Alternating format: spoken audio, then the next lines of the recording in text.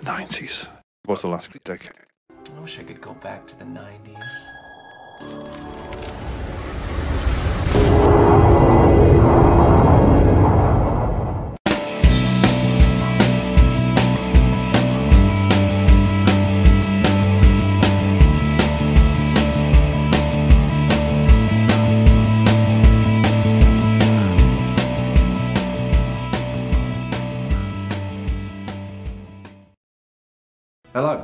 Welcome to the first episode in my series Back to the 90s.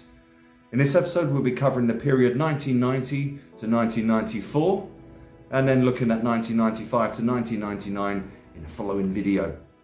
In short sections, I'll be reviewing world events, film and TV, music, as well as me during that time period, in the style of Mick Jagger, who really has very little to do with the decade, but it's one of the few impersonations I can do. So sit back, relax, and let me take you back to the 90s.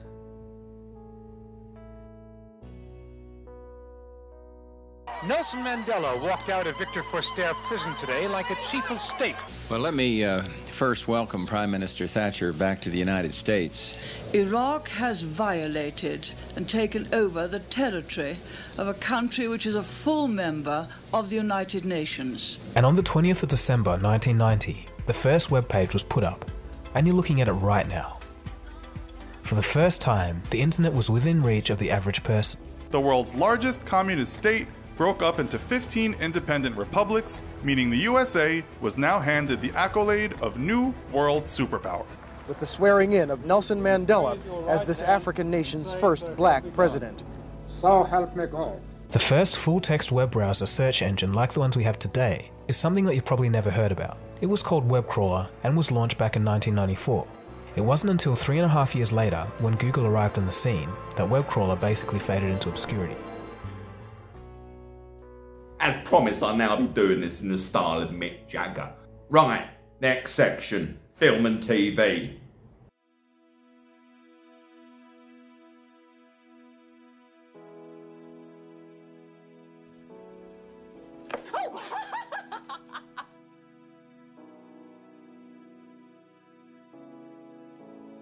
No, no, I can't. I'm full. I'm tired. No. Okay. No. G. You No. Got One G. One she? One G. One she? One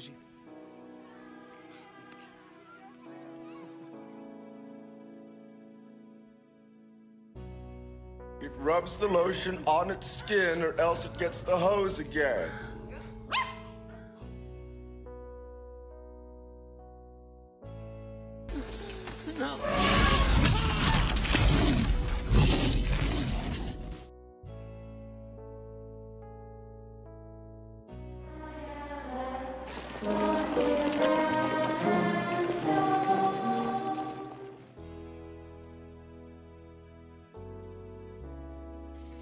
Shrimp and potatoes, shrimp burger, shrimp sandwich.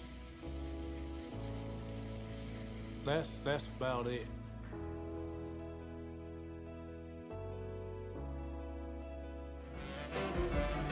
C'est la vie, c'est the old folks. It goes to show you never can The waitresses and showgirls are all real Brits. Fresh from the street to Sussex, they are. Fresh in the drink, Governor. Get out. Oh, she's still upset because I saw her boobies.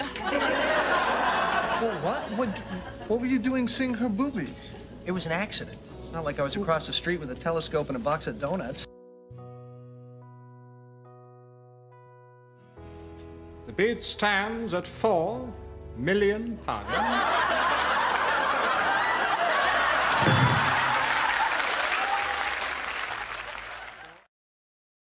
Alright, so in this next section, we're going to be looking at music. Not too much Rolling Stones here, but Love is Strong was a good song.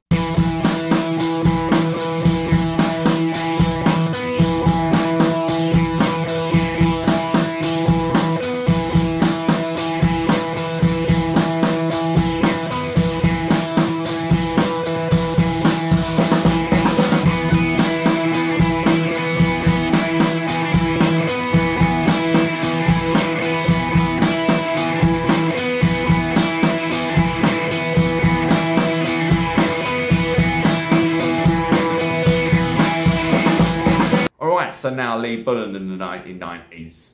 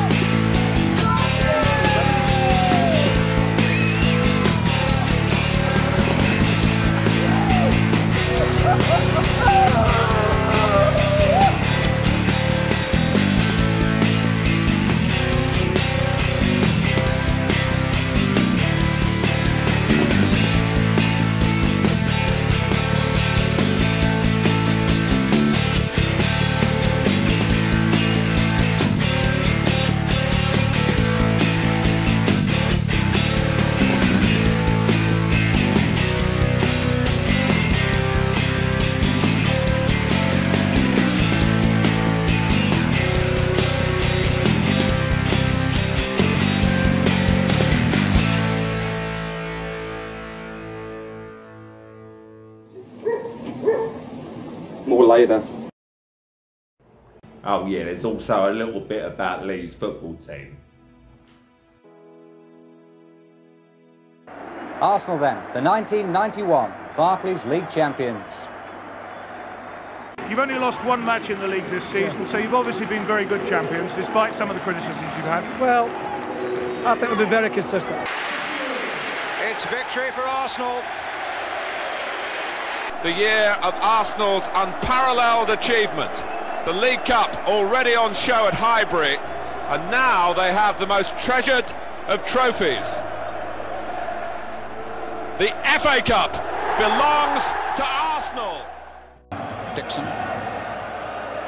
Acrobatics, but it comes for Smith. It's a, it's a goal for Arsenal.